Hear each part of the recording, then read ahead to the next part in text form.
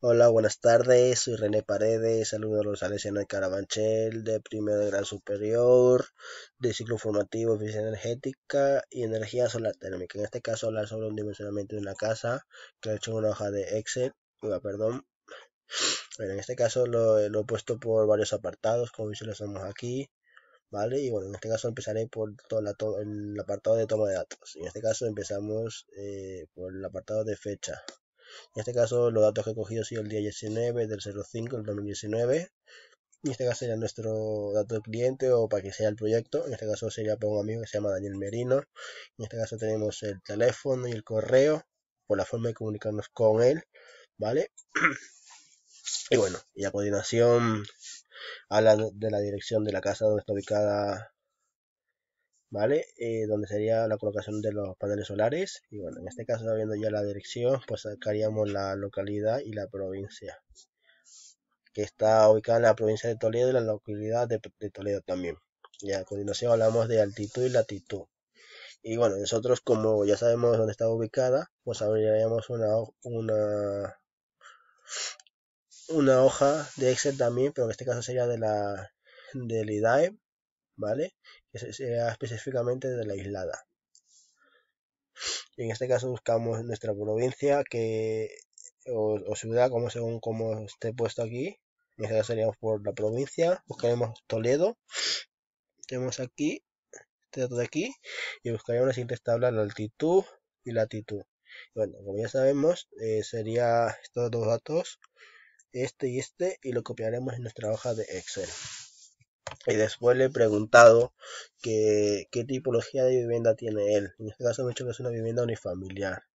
Y le he preguntado a, continuación que si la situación de la vivienda y me ha dicho que está construida. Y después em, le he preguntado sobre si tenemos posibilidades de sombras y me ha dicho que no. Y a continuación explicaré por qué. En este caso le he preguntado por el tipo de superficie. Eh, me dice que el tejado está, es de teja y después le he preguntado la, la, la posible orientación, me ha dicho que no está seguro, y bueno, como nosotros ya tenemos la, la dirección, en este caso yo me ayudaré por la aplicación de Google Maps, ok, a buscar la casa, ya sabiendo los datos, y me, ha explicado que él quiere colocar los paneles solares, en este caso sería aquí. Bueno, aquí tenemos una brújula a nuestro apartado derecho, que la parte roja es la parte norte, y la parte blanca la parte azul. Y bueno, en este caso lo acercamos más o menos y sería en la orientación norte. Y en este caso, como visualizamos aquí, eh, dice, no, ¿cómo que tener sombra? Pero en este caso él me ha dicho que estos árboles de aquí que le podía producir sombras ya no los tiene actualmente. Y como visualizamos aquí, estas fotos son viejas, no son actuales. Y eso va a llevar un poquito la confusión. En este caso nos fiaremos de él bueno, en este caso hablamos sobre, el siguiente apartado hablamos sobre el, cálculo de consumo. En este caso eh, hablamos en esta tabla sobre los electrodomésticos que tengamos en nuestra casa. Como en este caso tenemos la bombilla de la sala, bombilla exterior y así como vemos aquí. En este caso hablamos eh, sobre potencia. Eh, sería la potencia de nuestros electrodomésticos, ¿vale? Y como aquí sacamos los datos y a veces muchas veces no tenían los datos, no estábamos seguros. Esos datos los hemos buscado por, eh, por los, catálogos o si no por internet. ¿Vale? Según el modelo y la marca. Y, hemos cogido esos datos y los hemos pegado en, la, nuestra hoja de Excel. Y a continuación eh, le he preguntado que cuánto tiempo de uso tienen los electrodomésticos y me ha dicho que precisamente, como vemos aquí, el uso que le da en total sería de 33 horas. ¿vale? Que durante un día usaría los aparatos electrodomésticos. En este caso sería el consumo, eh, sería una, hasta la siguiente fórmula que os enseñaré, perdón, sería esta cosa, sería la multiplicación, aquí, perdón, aquí, la, la multiplicación de la potencia por tiempo de uso y nos daría este, este resultado de aquí, como visualizamos aquí y ha sido yendo por cada electrodoméstico y al final lo he sumado desde el punto de la bombilla de la sala hasta la cafetera eléctrica y nos da 11.233 vatios hora En este caso estaré hablando de siguiente, siguiente tabla, que es el de la energía necesaria teórica. En este caso, para mí es un poco parecido al consumo. El único sería lo mismo, que sería lo mismo, y lo sumaríamos y nos daría este resultado. Y bueno, en este caso, en la siguiente tabla hablaremos sobre energía necesaria, ¿vale? En este caso sería una, una fórmula que a continuación estaré explicando en qué consiste esa fórmula. Y en este caso sería este, esta fórmula de aquí como visualizamos aquí. Sería E, energía necesaria, por... Bueno, perdón, me confundí un poco. Y sería E igual a energía teórica partido de, R. Y R es, la, el, dato que nos faltaría. Y para calcular R sería este dato de aquí. Ok, en este caso tenemos aquí unos factores ya de del fabricante, como vemos aquí, de los fabricantes. Y bueno, en este caso yo, he cogido estos datos y lo que más, más, más convencido, lo, no más convencido, lo que más real me ha parecido a mí, tiene esos datos, lo he cogido y lo he copiado aquí. Vale, lo he cogido cada dato de aquí.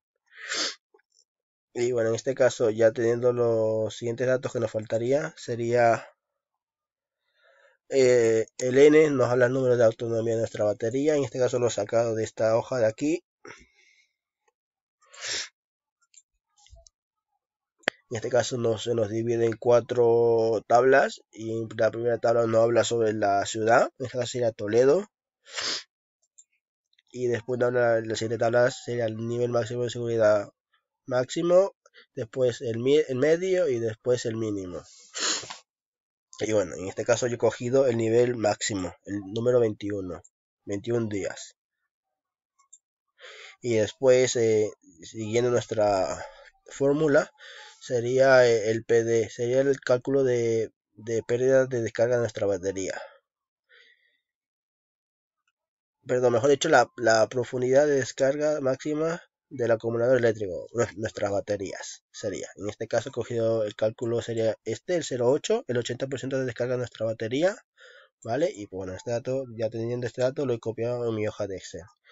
Y después, eh, estos datos, he hecho la fórmula aquí en la hoja de Excel y lo he ido haciendo aquí. Y me daría, me daría este resultado de aquí. Y bueno, en este después, ya teniendo el cálculo de R, eh, pues eh, haríamos esto, eh, esta siguiente fórmula.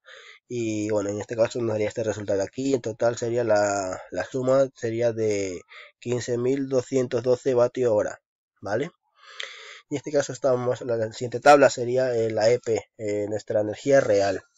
En este caso hablamos de energía real, sería esta fórmula de aquí, sería nuestra EP, nuestra energía eh, real, igual a energía necesaria por un factor de corrección que es 0,9.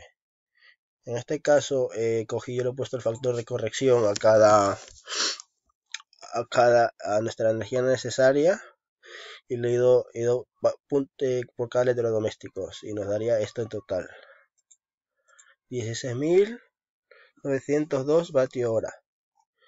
En este caso pasaré en este apartado sería el cálculo de la y configuración de las baterías de acumulación. En este caso hablamos de Q, eh, la capacidad útil de nuestras baterías, ok, y sería esta para sacar la Q sería esta, fórmula. En este caso ya tenemos todos los datos y los tenemos ya, como cogido anteriormente. En este caso sería la E, nuestra energía necesaria por n, por números de seguridad. Bueno, estos datos aquí, vamos a nuestra hoja de Excel, como visualizamos aquí, e, y nuestro número de autonomía. Bueno, en este caso lo hemos hecho aquí y, no, da este, este resultado. Y después hablamos de, de, de, de C. E, C sería la capacidad nominal de las baterías y sería la siguiente fórmula que tenemos que hacer sería como ya tenemos igual como anteriormente ya hemos tomado para R ya tenemos los datos siguientes sería C nuestra capacidad nominal igual a CU partido de PD nuestra pérdida de descarga. Como ya tenemos estos datos ya de aquí pues lo meteremos ya directamente aquí nuestros apartados de aquí vale y nos daría este resultado de aquí. Bueno, en este caso yo pasaré, pasaré al siguiente mm, apartado que es el cálculo y configuración del campo fotovoltaico. En este caso lo, divido por seis, seis, tablas que os estoy explicando paso a paso qué, qué es lo que he hecho. Bueno, en este caso nos enfocaremos en esta fórmula de aquí, ¿vale? Y bueno, en este caso podemos buscar las horas horas picos o directamente poner este, este factor directamente. En este caso yo, yo decido coger este factor de aquí, ¿vale? Pues a continuación buscaremos la K y la H. La K se refiere a un factor de corrección, ¿vale? Que lo tenemos aquí en, mis apuntes.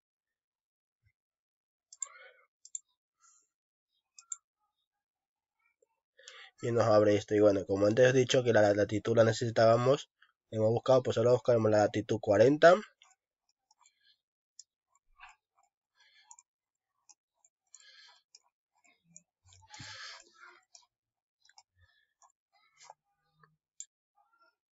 y bueno en este caso tenemos aquí encontramos la latitud 40 y pues bueno en este caso buscamos la inclinación 40 grados y le sumamos 15, es decir, en vez de cuentas tenemos 55, ¿vale? Y bueno, en este caso tenemos estos datos de aquí, ¿vale? Igual que anteriormente, de enero a diciembre. En este caso cogeríamos el más desfavorable, que es 1,52. Y bueno, teniendo este dato de aquí, lo copiamos en nuestra hoja de Excel. Y a continuación hablaremos de H, que es otro